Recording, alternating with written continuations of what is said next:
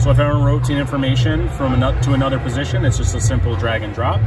and it does so very quickly. If I, might, uh, if I want to see the clock instead of my trip, it's just another drag and drop, and it's as simple as that.